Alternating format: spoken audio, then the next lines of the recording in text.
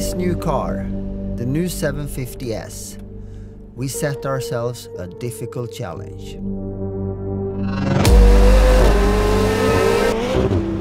Simply, it raises a supercar benchmark that we previously set so high with the 720S.